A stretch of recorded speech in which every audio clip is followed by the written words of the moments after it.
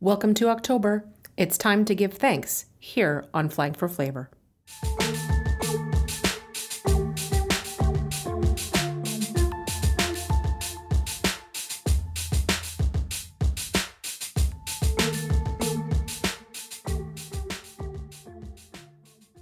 Happy Thanksgiving weekend to all of my Canadian listeners. With the recent chaos, I thought that this was the perfect time to be thankful for family, friends. Uh, I think it's a very important weekend, and it's just a good time for us to kind of reset our focus for what should be important. And with food, wine, and travel as this podcast theme, and as passions of mine in life, it was a good starting point for me to stop and kind of readdress and be thankful for all of these luxuries uh, that I surround myself every day. I'm thankful for a kitchen that I can cook in, that has food to eat, uh, that I can share with others in my home. I am thankful for the meals that I can have with my family and friends. And some of those meals are some of the best times I've ever had. I'm thankful for the people in my life who can just sit and enjoy a bottle of wine with me. I'm thankful for the people who make and sell wine and work very hard and who have always welcomed me into their world and shared what they know along with their personal stories. I'm thankful that I've had the opportunity to travel throughout my city, my province, my country, and feel blessed that I can see so many parts of the world and meet so many amazing and kind people along the way. This time of year is to focus on others. So I really wanted to spend most of this episode introducing you to the who, what, and why of my local food bank. It's a way to remind us that there are others who are less fortunate or who just need that temporary help at this time of the year. So I called my old friend and college alumni, Dan Xilon. He's the executive director of the Sudbury Food Bank. And I wanted to get some of my questions answered about all the ways we can help them this season.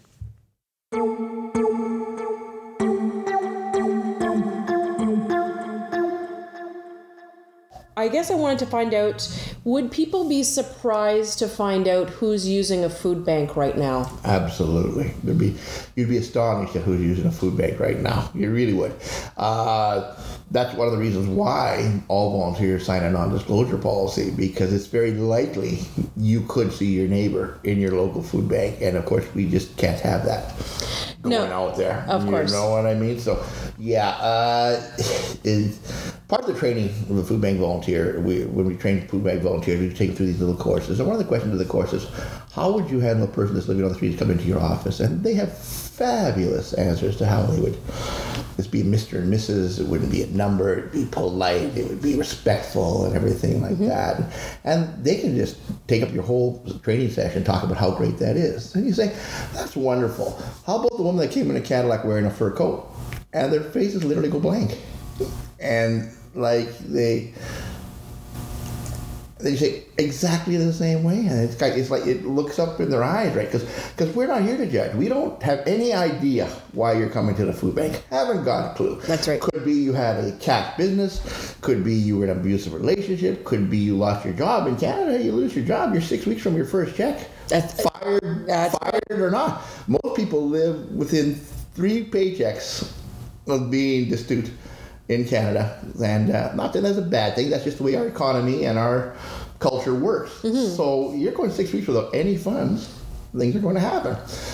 So then you see people that have, let's say, a nice car or something like that. Well, if they're in trouble, why don't they sell their car? Well, then they can't go to work. Then they can't read, like, like you know.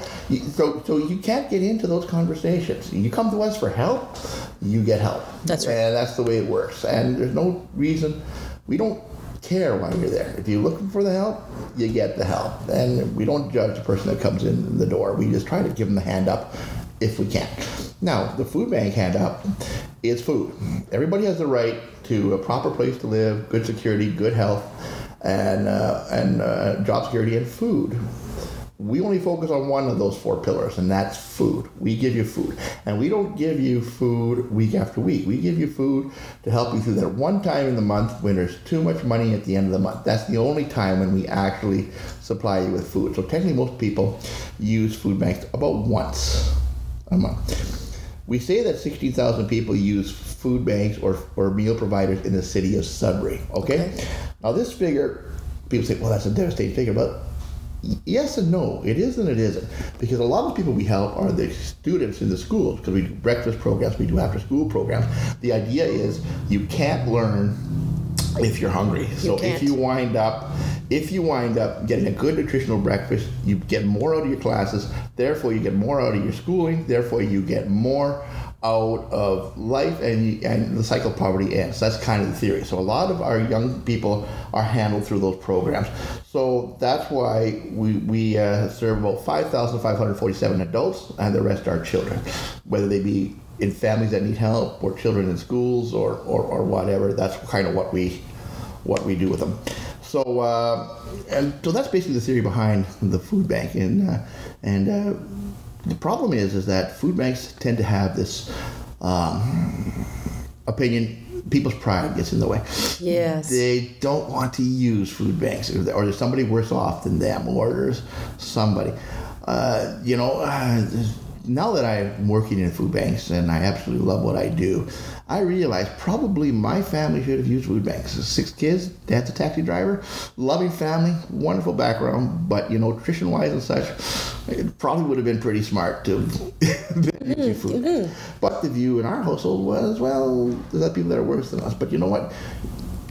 Let me put it to you this way: if you're a mother of three kids, what is your first thought when you're hungry? Make sure your kids have supper. That's right. Okay. Here's the point: if all your kids have supper, but you get sick, where do they get their next supper? You know what I mean? So That's you right. have to you have to be prepared to understand that we are a service. If you're sick, you call your doctor. If you get a fire, you call the fire department. If you have a, a, a, a security or legal issue, you call the police. You know, you go to the hospital if you're ill. I mean, you, you go to the clinic. You, you're the same thing. We are a service. We are here. We are here to help you. We are a free service. Yes. There's no obligation to do anything that when you come here. And the reason why I put that into the conversation is there's no obligation to come here. But guess what? When we say 16,000 people, that I said previously in the start, it's not the same 16,000 people. We may have a person once, maybe twice, you know, maybe for a little longer time. But then that person gets back on track and we don't help them anymore. Well, guess what happens to that person when we don't help them anymore?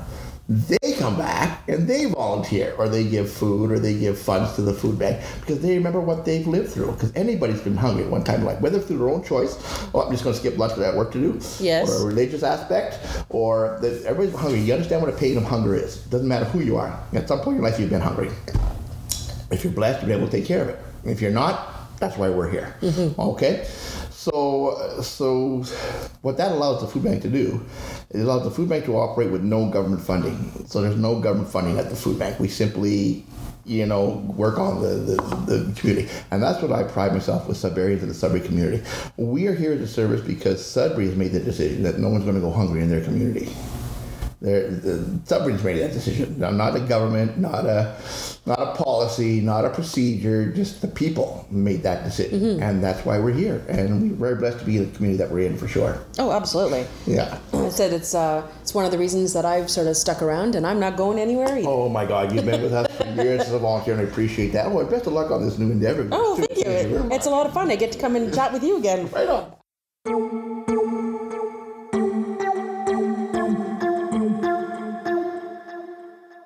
So that gives you a little bit about the who uses the food bank. So before we get into the what, meaning the foods that are donated or collected at the food bank, because it's food, I thought I would treat you to some food recipes. So I don't like to do the standard dinner plan for Thanksgiving. I'm not that much of a traditionalist. Aside from gathering with friends and family on this weekend, Aside from that, I always like to do something a little bit different.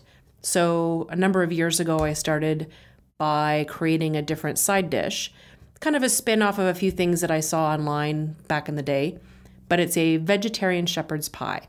So it is all kinds of different root vegetables, squash, mushrooms, and it's basically that's the filling part that would take care of the um, the base, and then it's topped with a blend of mashed sweet potatoes and then regular mashed potatoes. So you can actually get creative using your piping bag and make designs and stuff on the top. And then it's baked in the oven and it's served as just the side dish.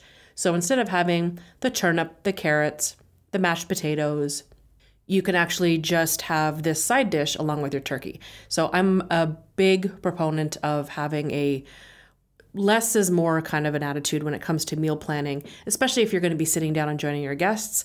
So the fact that I can have maybe some veggies and a couple of apps and then just the turkey and the side dish is perfect for me. So if you like that recipe, I've included the link to that one on the show notes and I've also given you a few others. Um, so you'll have a few ideas for appetizers. I gave you a great soup recipe. I also gave you um, one of my favorite desserts that I'm going to make this weekend. It is a pumpkin roulade. So if you didn't know what a roulade is, it is almost like a like a jelly roll cake would be the great way to describe it. But instead of jelly for the filling, it is the pumpkin cake, and the filling is made with mascarpone cream cheese and um, whipped cream and uh, crystallized chopped ginger the mixture of the ginger and the cream inside the cake. And, anyways, you'll thank me. I also made notes in the recipe to double up on the cream to serve on the side. Um, it's not just a great dessert option to change up that usual pumpkin pie, but it's also a great one for the Christmas holidays too, because it does kind of look like that Yule log that you're used to seeing on the center of dinner tables um, at Christmas. So if you like those ones, I think there's about five or six. I also included uh, a couple little suggestions on what to do with your turkey and potatoes leftovers. There's all kinds of fun things you can do with them. That is, if you have leftovers, right? Okay, so now we're going to go into the what. So I really wanted to ask Dan because if this is the time of year where the food banks are collecting things, my question was, what exactly are those things?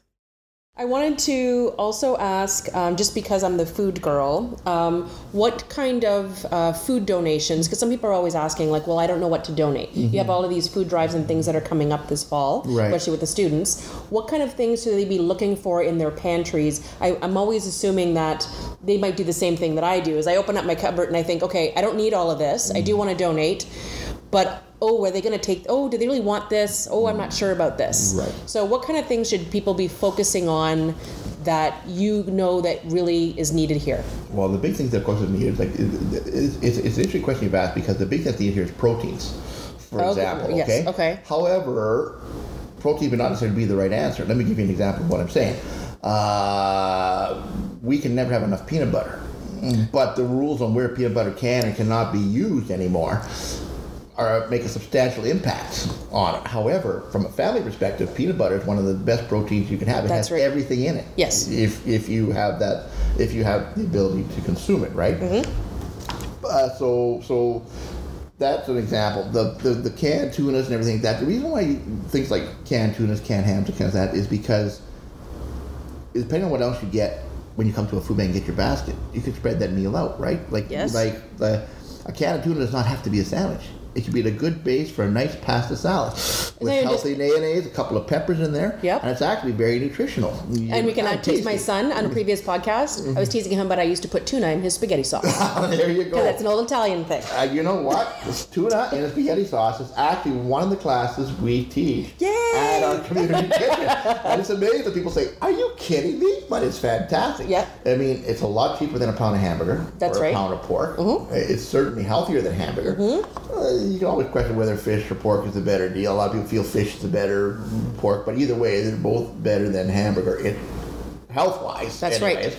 And they certainly had a unique taste, and it's just wonderful. And it's and it actually takes away for people who don't like the taste of canned ham or something, well, or, exactly. or canned tuna. It's not as fishy when it's in a tomato exactly. sauce with the vegetables and exactly, and yeah. it's delicious. So we actually do that session here. Oh, so it's good. quite I'm, see, Alex, if you're listening, see, I wasn't the only one. so So, but the big three I've always been in food banks has been uh, the pasta, the pasta sauces, and the beans. That's the big three. Okay. Okay. All right. Um, another example of what I'm talking about is uh, we often have. Uh, we often have uh, turkeys and ham donated through Thanksgiving and, Oh, and nice. Christmas, Okay. right? And they're very important to us. We don't want to go on them, but they may not necessarily be good for everybody that we're dealing with. For example, if it's a homeless person, or if it's a person with a bachelor pad or something like that, where are they going to cook a turkey?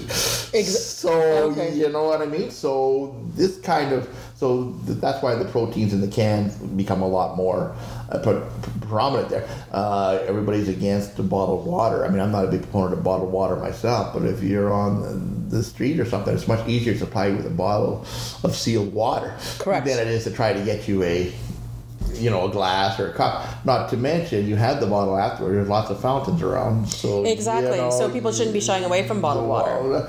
well, I don't want to get the No, no. the environmentalist up in arms, but I mean there is some benefit, at least at the food bank level, for having bottled water to distribute. Yeah. You know what I mean? Yeah. So, uh, but basically, I think the policy you look at, uh, the philosophy you look at is is anything you need in your house, we need at the food bank because we don't just do food, right? You, you do the diapers, you do the baby food, you do the toilet articles, See, you do the you do the you do the uh, the um, the um, beauty care. I mean, I I mean, we don't not, not we do a whole lot of makeup and such, but hygiene products. If someone's going to food bank looking for a job, I think it's kind of important that they have soap and deodorant, and etc. So maybe that's the kind of things that people always forget about. They so not they don't they don't always have to go and look in their kitchen. Exactly. There might be other things in their house that can also be utilized. Absolutely, absolutely. Toothpaste is a big one. Toothpaste Oh, is a see? big one. Toothbrushes is a big one. I mean, may I ask uh, ask anybody in the world? You're probably using some toothbrush that's your favorite, whether it's electrical or whether it's not. Mm-hmm. Every time you go to the dentist, you get a toothbrush. What do you do with those? There's probably a thousand toothbrushes out there in the Sudbury region. That's right. Sitting in cupboards in bathrooms that we could use as long as they're sealed. And, and That's new right. we couldn't lose using those. They'd be fantastic to have those, but there they are. You know. What about the uh, your your for example uh, the the souvenirs that you might uh, get when you're not visiting, like the little bars of soap and the little bottle of shampoos. You know the stuff. The, the, the souvenir stuff that's just everywhere. If you're Yes. when you're in hotels and such, you know how many people have that stuff hanging around? Yeah, You know what I mean? If you're if you're a street person, you're going to the Elgin Street Mission, you're getting a good meal, then you're having a shower. It might be kind of cool to have a nice little bottle of shampoo and a bar of soap that you could. Oh, especially and, and oh, not to mention, I mean, um, a lot of the people who are using those services are out job hunting on an ongoing they're basis. job hunting on so they need basis. things They like need yeah, that. toothbrush and deodorant Yeah, and yeah. no, oh, that's a good that's a good thing to have. So I'm Let's- gonna make a list of all this stuff. Okay, let's take it one step further. Okay. Okay. Uh, if you're in my household, my dogs are my family. Okay. oh, so if Oh, somebody is hungry, yes. should they have to give up their cat or their dog or their hamster? I'm not quite sure why people have fish as a pet, but some people do. You know, but uh, you know uh, the uh, like like so dog food. When you come in with your family and we take care of yourself and everybody in your family, we take care of your dog, your bird, your hamster, your cat too? we do to the best of our ability. So any of that stuff is very handy. We actually have organizations that actually do their food drive strictly for baby food or strictly for pet oh, supplies. Oh, okay. They actually that's why they that's how they run their campaign. Everything is important. So I think getting back after this lengthy discussion, basically if you need it in your house, we need it here.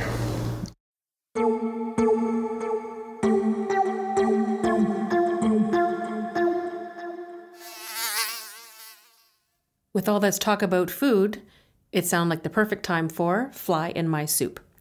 So, this is the time of the episode where I get to rant a little bit.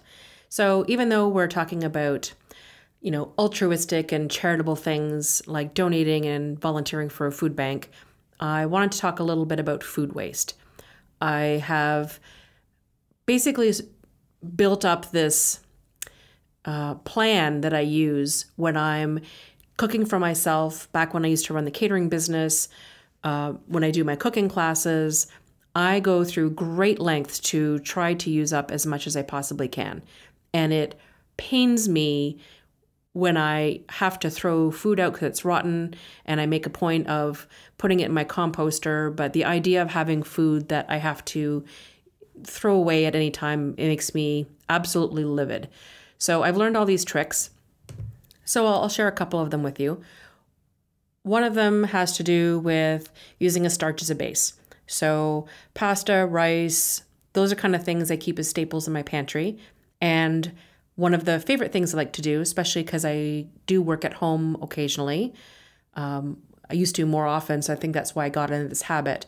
You can basically take just about any leftovers and throw it in a pasta. You can fry it up in a pan and serve it over rice. You can freeze the individual components together so that at some point you can pull them off to do whatever. So think of starch bases. So I'll have pre made flatbreads in my freezer. I will have maybe I didn't need that entire baguette last weekend, so I'll take half of it, wrap it really well, and leave it in the freezer. And I can take it out and do some kind of a roasted vegetable sandwich to get rid of some veggies or I can make uh, little baguettes or crostinis if I'm having um, people over on the weekend. Or I can, yes, toss it into pasta, put it over rice, um, depending on what vegetables or meats they are, make a great soup or stew or chili. Um, I basically took the time to have all these containers and using that in Ziploc bags, and I will put everything in the freezer and then pull things out when you need to. Um, I'll add a few little tips or recipes um, on the show notes.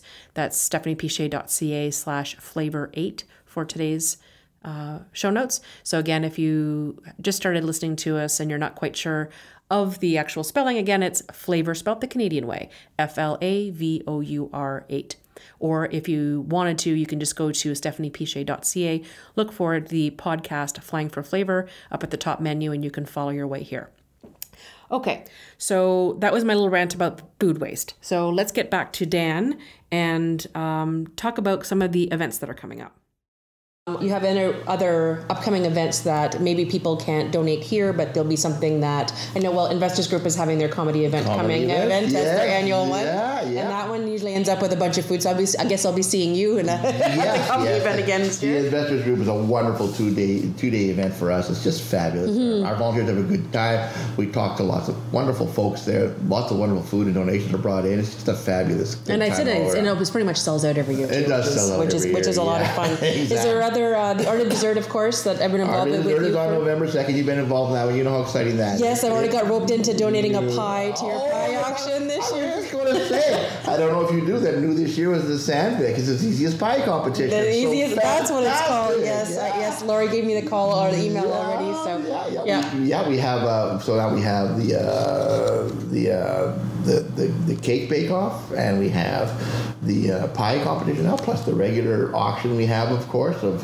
fine spirits and art pieces, and uh, we also have the uh, the potato bar, which is something that maybe oh, that you guys familiar with the mashed yes, potato mashed bar. potato bar. Everyone loves oh, it. I brought that in last year, and people just thought that was fabulous. And uh, the creativity of people able to design your own piece of work out your own potatoes with your own toppings and your own gravies. Oh, people just love that. And well, and it's a great idea is because with the base of it, it's actually a very cost it's cost efficient to actually set something up like that to feed everybody because basically you're just doing the mashed potatoes and the sauce, and then whatever you just throw out toppings and people make their own. You don't have to staff it aside from refilling. It's a uh, it's one of those things I used to do in catering a few times too because Actually, it's a. You'd be very attuned to exactly why we do that. exactly. Yeah. And when people are having a few glasses of wine, yes, yes mashed potatoes go over really yes, well. Mashed potatoes is a great little comfort food for mm-hmm. sure, and. Uh,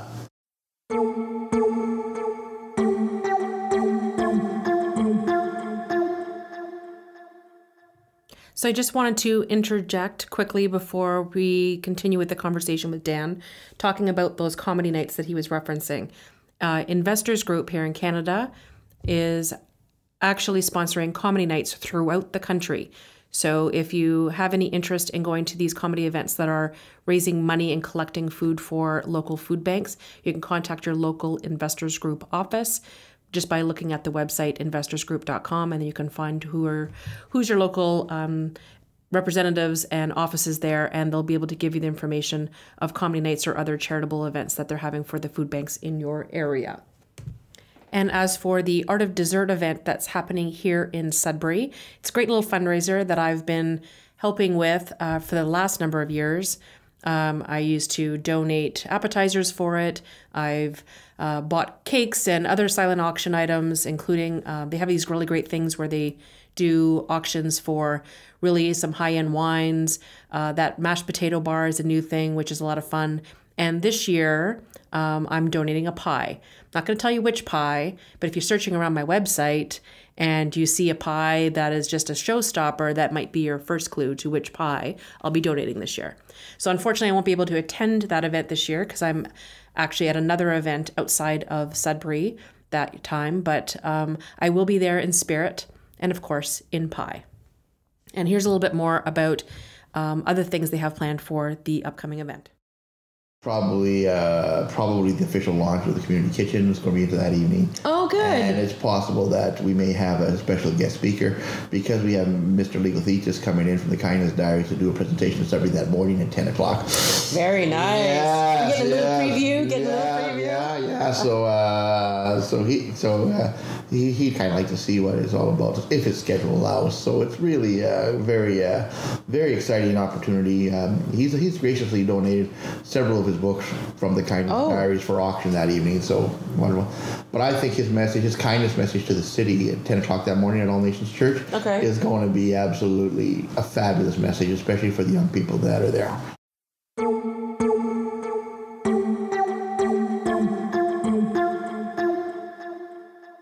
So one of the things about Thanksgiving and the Christmas season, of course, is this is the time where we're really starting to do the drives, or you're really Yeah. starting to do the events, because I'm you're usually trying to plan ahead. Exactly. And I'm guessing your busy time of year is January, the January February. Yeah, it's pretty crazy. Pretty crazy. Well, it's pretty crazy in the sense of sorting through everything that comes in. The collection of yep. the product is actually through October, November, and December. December, okay. Uh, one of the big things that's coming up, of course, is the St. Charles Fill the Bus campaign, which is very, very exciting. That yeah, we thank the students for St. Charles for doing that. They've done that for I think two more than two and a half decades. It's just an absolutely fabulous uh, opportunity. Uh, Patty Madero and her crew over there are just amazing young people, great to work with. She's an Love to amazing principal, that lady, that's she for sure. is for sure, for sure. And their campaign is actually running from Thursday, October nineteenth to um, October the twenty fourth. So it's very There's an entire week to get in on the fun. Yeah, an entire week. And you know what? It's so easy to do because basically you're going to do your groceries. If the bus is at the grocery store where you're doing your brushes, throw in one extra can. That's all it takes. That's all it takes. You know. Now some of the stores will do a lot more than that. They'll offer you bags that you can buy for five dollars or ten dollars. Yeah, the those pre-bag. are actually a very good deal because they usually have anywhere. A five dollar has about ten dollars in food. A ten dollar has about you know fifteen to twenty dollars worth of food in it. So and, and it's the stuff that we've told them that we need. So Mm-hmm. it really takes even even that decision is taken away from you if you want. You just pick one up and throw it into the bucket and throw it into the bus and you're there. Every food bank is looking for the help at this time of the year, and they're going to appreciate any help you can give them, whether it be food, whether it be a donation of funds, whether it be time, whether it'll be volunteering to do a little bit of collection for something. Or the other nice thing, if you really want to help and make it nice and easy on yourself, just go to your work and say, hey, let's have a food drive on Tuesday. Everybody bring in something. You know what I mean? Some places really take this to the extreme. Often they'll go, uh, let's uh, brown bag our lunch on a particular day, and any money would spend going out for lunch, donate to the food bank. And we can give you the paperwork and receipt packages and things to put that together if you're interested in doing that. That's a fast phone call. That's a 10 minute around the coffee cooler discussion with your people, and a date is picked and it's done. Yes. you know, and it's over, right? It's a one day thing, but it, it makes a tremendous difference. It makes a tremendous difference in what happens here at the food bank. So that was a couple of great tips on different ways that you can support your local food bank. And for those in Canada, I'm actually going to provide the link in the show notes for you to be able to find where your local food bank is so you can keep track of any events, food drives, or other ways that you can donate or help for this Thanksgiving to Christmas season. And I just wanted to make one other point. I was really um, inspired or touched by that whole idea of the gentleman who has the Kindness Diaries book, who's going to be donating some of the prizes uh, to their auction for the art of dessert. So I am going to include the link for the Kindness Diaries book as well, and and the details on the show, which is of course a Netflix original. And then um, I have one question for you that I thought would be suitable to conclude our interview. Okay. Uh, at this time of year, Dan, what are you thankful for? Well, myself. Oh, Yes. Well, I just got my, uh, I don't know, I've got six beautiful grandchildren, but I'm proud to say two more just joined us with the twins. Oh my goodness. Yeah, so uh, very proud of that. Very proud of where my young my young people have been. Very proud of what they do in the community. They're all volunteers, same as their dad. They, they do what needs to be done. Uh, my my granddaughter now, now is is, uh, is is 19 and she, she's out there doing her working, doing her school, doing her volunteering. It's just uh, absolutely fabulous. Uh, of course, uh, my lovely wife and just my uh, my health and just this community in general. I am so blessed to be working in this community. You started a great legacy with your family w- Right. through your kids and your grandchildren, and I think that the community in Sudbury has always been such a charitable community, and they are now raising children, and then newcomers are all getting in that same spirit. They are. So that uh, that just means that things are going to look up. I'm absolutely positive about it. Isn't that the most perfect way to end a Thanksgiving episode? Makes you kind of thankful. So, before I go into my closing here for this week's episode, I really wanted to kind of finish off with one of those table topics. So, I actually found one that I thought was completely suitable for today, and it's from the travel kit. And the question of the day is What's your favorite memory of childhood vacations? So, because it is Thanksgiving weekend, we're being thankful, and it took me a few minutes to kind of recap some of my favorite memories when I was kid.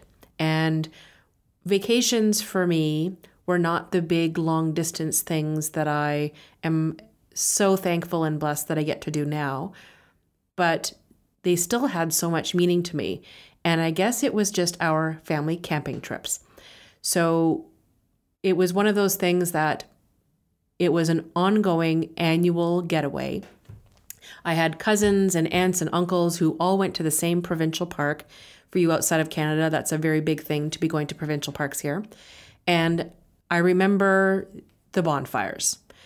I remember coming back from the beach till the very last time that my parents would let me stay out there and sitting around the campfire, telling funny stories, teasing each other, uh, making hot dogs over the fire, and making um, mountain pies. And yes, you can send me a message if you haven't heard of mountain pies before. But just basically spending time together like that around the fire. Uh, my dad used to play the guitar. Uh, my grandmother played the accordion.